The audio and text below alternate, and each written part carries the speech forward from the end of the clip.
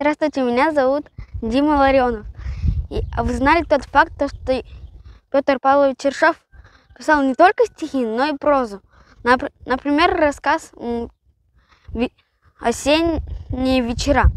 Ярким примером является рассказ «Чудный храм».